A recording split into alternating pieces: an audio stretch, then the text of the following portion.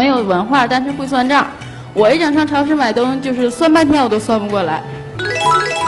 完了，到时候一整还丢钱，经常丢吗？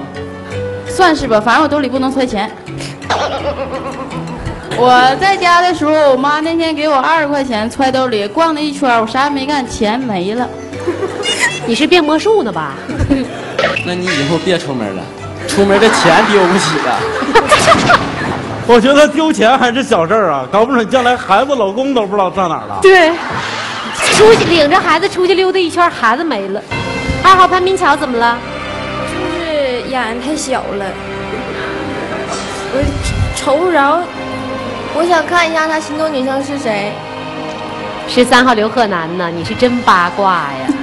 你认为是谁？贺南？我刚才猜的是二号吗？是，你现在还仍然坚持是二号吗？是。二号，你觉得是你吗？然后他没承认，我就特别想知道他心中女生是谁。二号，你觉得是你吗？如果要是你呢？是我，我也不跟他走。就因为眼睛吗？对。你这样，你走到二号对面，你让二号近距离看一下你的眼睛。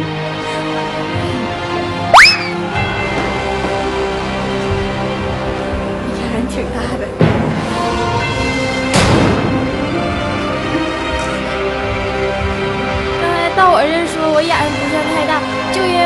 不算太大，所以我想找个眼睛大点的。那你等着吧，后边有眼睛大的。眼睛小怎么的？眼睛小聚光。就是问题，他不让我出门，我接受不了。谁能天天搁家窝着呀？你先把出门就丢钱呢。其实有的时候是这样，有的时候就好像似乎离成功越来越近的时候，有的时候是容易失之交臂的，但是可能就是还是没有缘分，我觉得是这样的。所以说有点难受，但是不是说没有机会，机会还有很多，还有很多的缘分在等着你，好吧？好，继续加油。谢谢。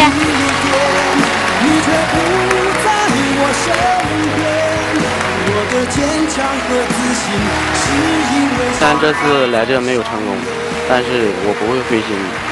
嗯，让女嘉宾们后悔吧。二号的确是你，而且你一直被他亮着灯的时候，他他眼睛里根本就不看别的女孩，他就觉得一直我喜欢的这个意中人一直在为我亮着灯，足以了，还是没有人，是吧？好，接下来出场的这个小伙子，我们编导告诉我长得贼带劲儿，究竟有多带劲儿呢？来，掌声欢迎一下。不要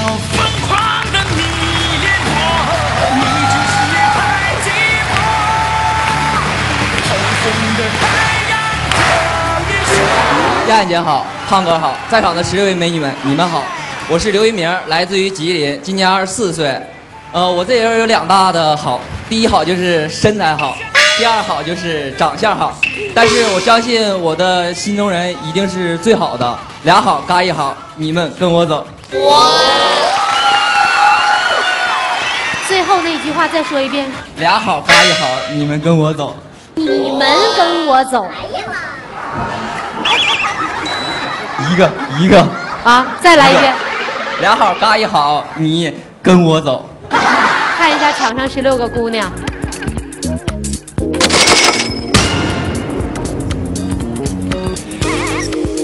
姑娘们，考虑一下，请选择。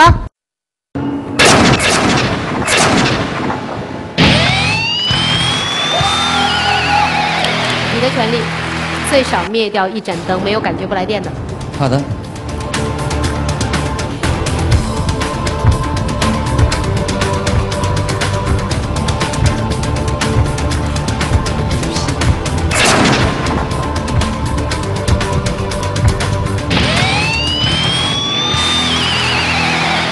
话要说，燕姐，为什么灭我灯呢？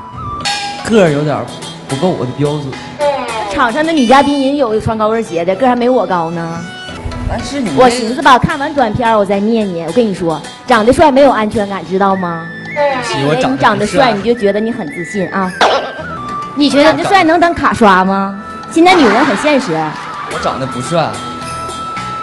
王林觉得他这长相没有安全感是吗？为什么呢？我觉得一个男人不能光欣赏外表，主要是内在。我觉得帅挺养眼的呀，多好啊！天天看着多舒心呐。你看这个安全感和没有安全感，看看是怎么怎么理解的哈。来看一下第一个短片。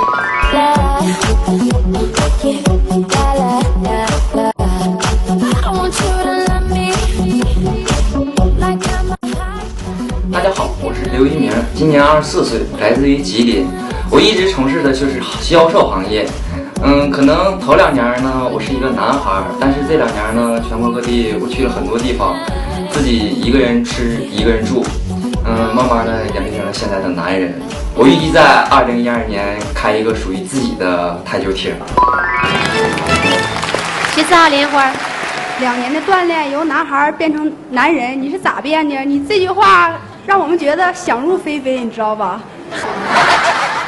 那个我在外地时候是自己洗衣服，自己做饭，嗯、什么活都要是自己，自己出去办很多的事情。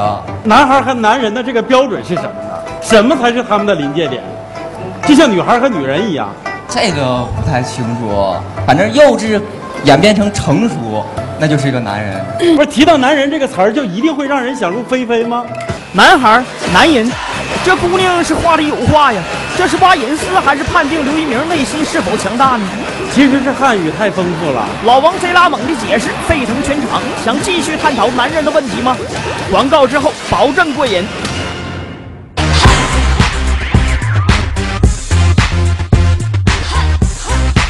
不是提到男人这个词儿，就一定会让人想入非非吗？不一定。艳花，你觉得呢？那提到男人，你你怎么想入非非了？待会儿你就这么说，你说那个我要如果说是你要说是从男男孩变成男子汉，然后我就听着舒服了，是吧？啊，这个概念就不一样了。其实是汉语太丰富了。其实啊，精神。从男孩到男人呢，并不意味着跟女人上过床了之后就叫男人了。如果内心不强大，即使你到五十岁、六十岁，永远都不是男人。对，哎呦，这个太经典了。胖哥说话太直接了。小伙长得挺帅的，你台底下是不是有老多小姑娘稀罕你了？是不是老多人追你了？你追没追过别人呢？为什么追过别人？那你现场给我们追一次呗？你比如说，今天你俩就来看全程热恋来了，像下边的观众一样，你俩挨着坐。对，OK，你对他有意思，现在。美女看挺眼熟啊。哪眼熟啊？兄弟，早在我追女孩那年代就不用这歌了对，。这这太老套了。我实在是想不起来了。美女，我手机没有电了，你能把你的手机借我用一下吗？俗。哎呦，太难了，这也。伙计，这咋怎么着没怎么着出三角关系了呢？是不是你把手机给他都行了？行，那你要不啊？不好意思。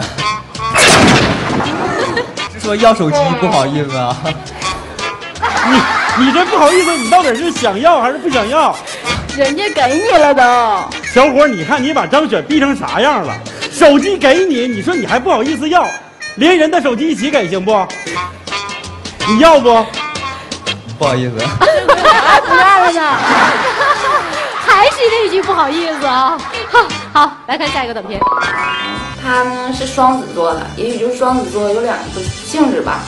一面呢就是挺成熟的，有的时候成熟起来可以当我哥哥，照顾我，嗯，什么事都顺着我，给别人印象挺挺大人的。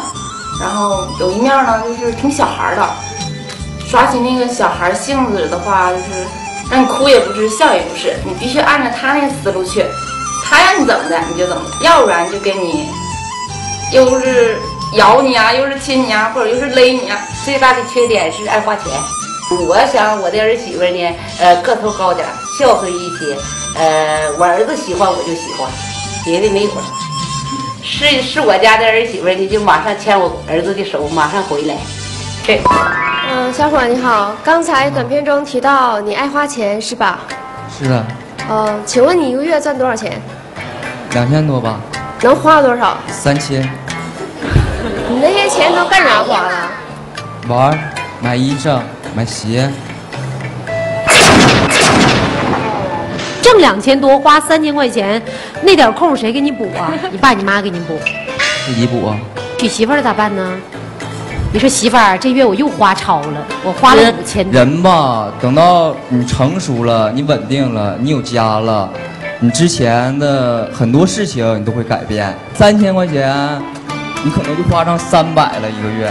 哥们儿，你想没想过，你现在过惯了一个月花三千的日子，结婚之后你一个月花三百了，这种日子你还能不能适应得了？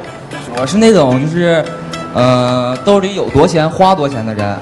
我有的时候可能一个月只花二百块钱、三百块钱。你看来更适合找一个能管得住你的女孩。对，他一个月就给你二百块钱零花钱，再就不给了，行不？我觉得很幸福啊。你妈妈说找个高的，个高概念是多高啊？一米六二吧，那你看我够高不呀？好像有点勉强，但是肯定不够，这真不好意思。没事儿，我看你够。谢谢。因为我也丰满的，咱家离多近呢？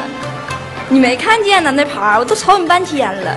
近视眼儿，上跟前儿看看呢，上跟前儿都没看我这儿啊。对不起，你看我个高够高吗？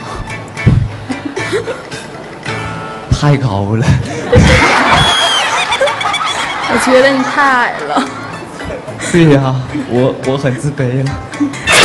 我就特小孩儿，就有的时候特爱撒娇，你能接受得了吗？很能接受。我这人有一个毛病，我就是不会做饭。那以后你能保证你做饭吗？我做菜很好吃。好嘞。我比较敞亮，你一个月要三百，我给你五百，我捯饬捯饬也能领得出手，你感觉我行吗？你怎么都急到这种程度了呢？你不捯饬也能领得出手，真的。其实你就说错了一句话，我我找的一定是对对我很严的，我是一个很好管的男生。你你说我要三百，你给我五百，你这是惯我。我欺负你，我就得惯那是因为他爱你，他特别喜欢你，所以他才那么放任你，他去包容你的一切。其实我还张学想说两句你要珍惜，你不想找个帅的吗？他长得挺帅的，而且是纯天然的。你珍惜，那你得勒住他。他气管炎，你不知道吗？要不领我走咋整啊？他你管他就听。我就挺符合的。瑶瑶管不住他，你让他试试我，你看他敢不敢？我迷茫了。迷茫，好好把一个小伙整迷茫了。小伙，你花心吧，因为我觉得你在台上表现的就是那种特会表现自己，然后我觉得有点滑。你我一定是个专一的人。我也双重性格，而且特多愁善感。现在你的灯灭了，王丹丹是不后悔是吗？好，七号李梦瑶和三号郑薇都没有意见哈，我们掌声有请两位。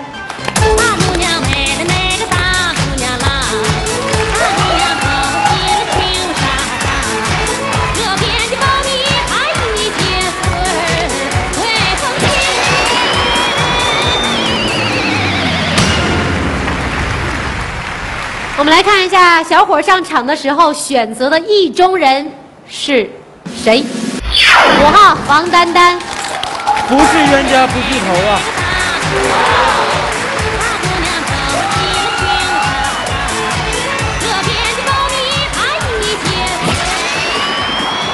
丹丹看他选的这个意中人，你什么感觉？